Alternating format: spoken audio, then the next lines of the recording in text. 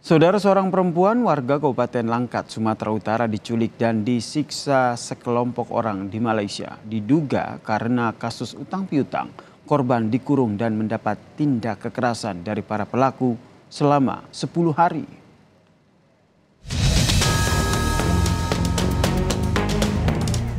Sebuah video memperlihatkan seorang perempuan warga Kabupaten Langkat, Sumatera Utara disiksa usai diculik sekelompok orang di Malaysia.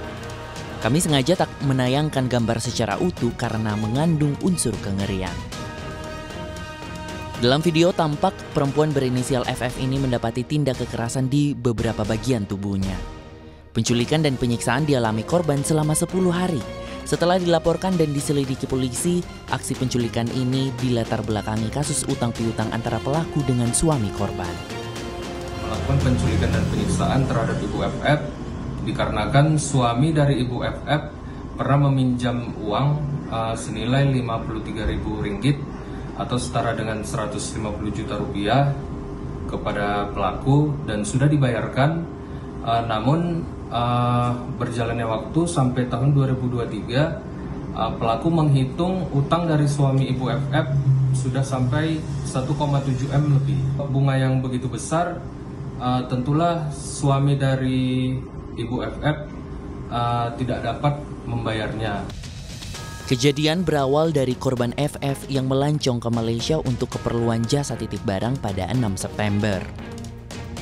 Satu hari sejak tiba di Malaysia, korban FF hilang kontak. Keesokan harinya, suami korban dikirim video penyiksaan sang istri oleh pelaku yang merupakan warga negara Malaysia.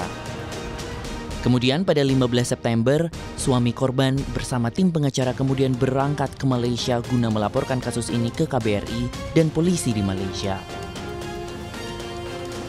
Dua hari kemudian, polisi di Raja Malaysia menangkap 13 pelaku di kawasan Penang dan mengevakuasi korban FF dari lokasi penculikan.